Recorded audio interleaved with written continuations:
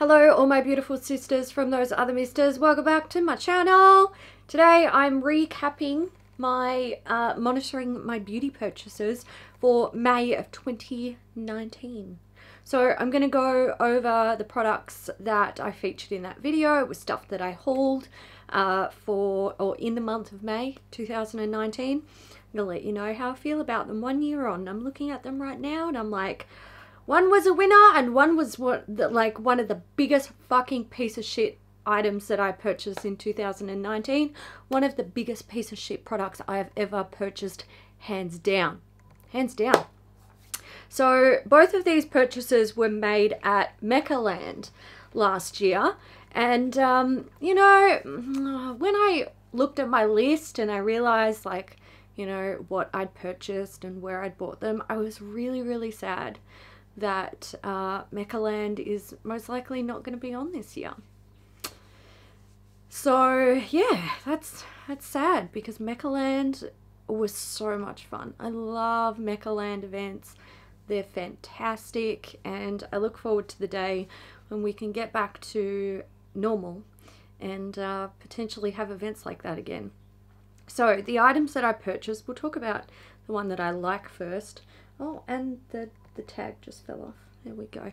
Uh, it's the Hourglass Unreal Lip Gloss in the shade Provoke. So it is a nude color. It's a cool toned nude. And these are really nice lip glosses. So they're not like super sticky. They're not, um, actually, you know what? Let's, let's put it on. Why didn't I do that? This lipstick that I'm wearing is really nice and uh, very affordable. It's an Ulta 3 lipstick. Um, but I want to put this on. So I would consider these semi-opaque lip glosses. They're not sticky at all. They offer a nice um, like shine without looking goopy or like, you know, thick and chunky on the lips. Uh, they wear fairly well, not not super well. Like if you know, I'm going to go and have lunch after this, and obviously it's not going to be there. It's a lip gloss, it's not a magic wand.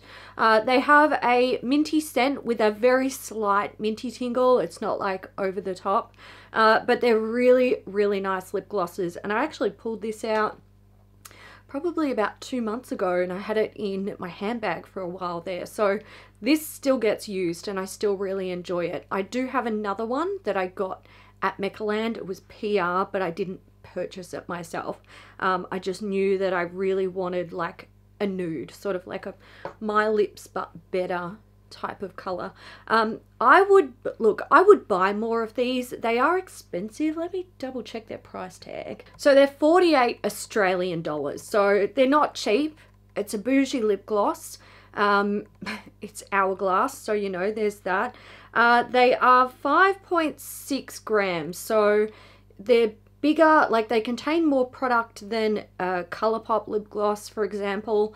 Um, so it, you know, even if you were like me, where you become kind of semi-obsessed with a specific lip product and you might wear it pretty much all day, every day until you finish it, you're probably going to get a few months of use out of this. Like a Colourpop one, I can go through uh, in about a month if I'm dedicating my life to it. Um, so I would expect to probably get at least two months of regular use out of this. But in saying that, I'm using a lip gloss that contains seven mils of product so or seven grams of product so it's a little bit more than this uh, like 1.4 grams more and I've been using that for months really really regularly uh, it's been in my project pan for I don't even know how long now. Three months? Maybe? Something like that. Four? Three. I don't know. Anyway, it contains a fairly decent amount of product in terms of what a lip gloss usually contains. So, look, I wouldn't be going out and buying like multiple shades because they're 50 fucking dollars. Uh, but I wouldn't rule it out. I wouldn't rule it out, essentially. I do really, really enjoy that one. I love that colour. Um, and my next item is this trash. So this is the Ciate uh, Jessica Rabbit palette. I actually bought the whole the whole set. Do I have the box? Where's the box? Actually, I should, I suppose I need to find the other products, don't I? Because I didn't just buy the palette. Okay, so the other items, which I pretty much, I, I'll admit, I kind of forgot about them.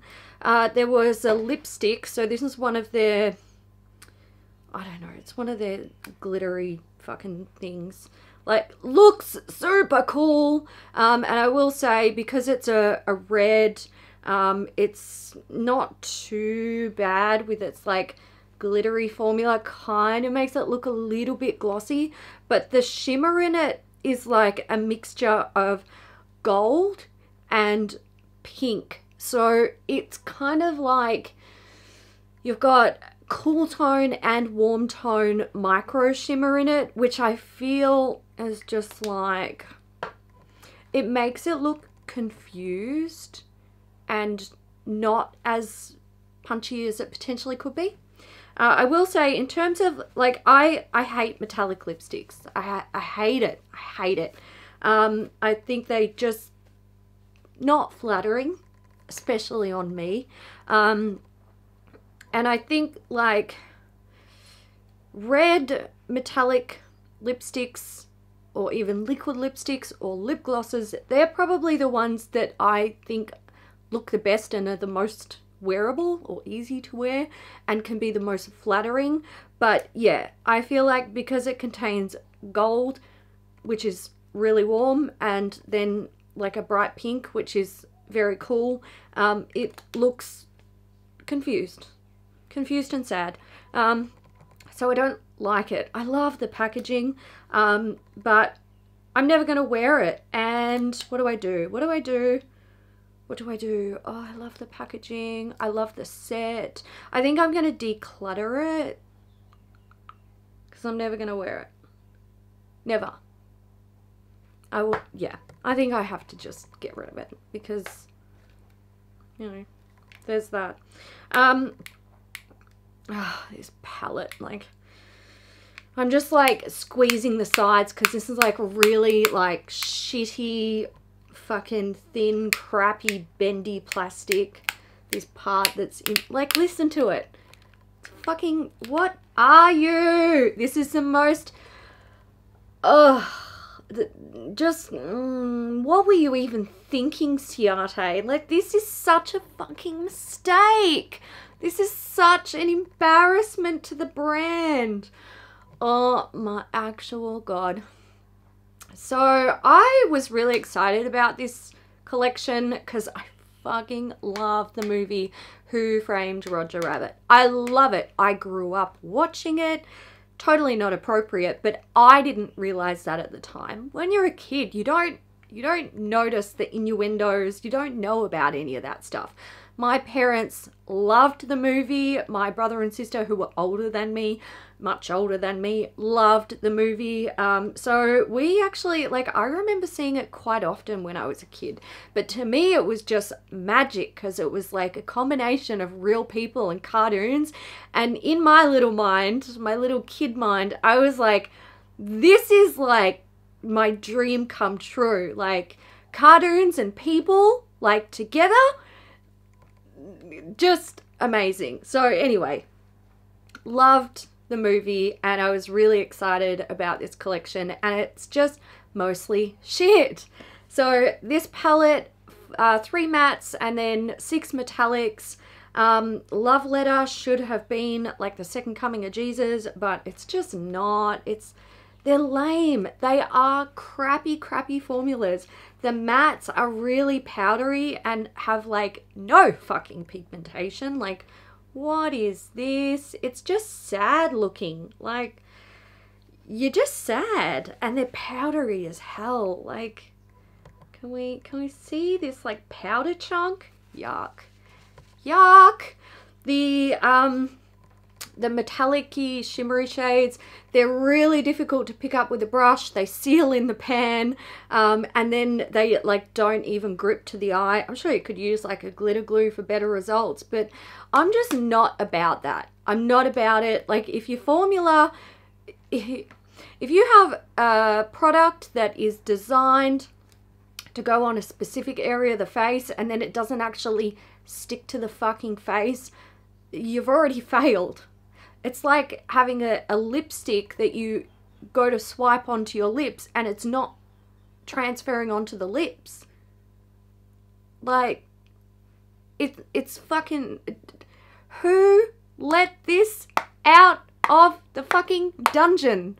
Who's who sat down and said, "Yep, this formula is good"? Who? Who? Because that person should be fired. Because this is crap. This is absolute rubbish. And I'm really, really sad, but realistically, I have to get rid of it because it's unusable. It's unusable. The packaging is awesome. I love that. Maybe I would be able to like, ooh, maybe I could like dig all this shit out and use it as a cigarette case. That'd be great if I still smoked cigarettes. I don't. I vape now. There we go. I wonder if I can, let's do, mm. Mm. Oh yeah, okay, so it'll just like, just pop, pop right out. Although, what am I even going to use the case for? I don't know. Um, by the way, I wouldn't actually give this to someone. I would throw it away, so that's why I'm not like bothered um, destroying it because it's, it's unusable. Who am I going to give it to? I don't know anyone who wants makeup that can't be used. Wow.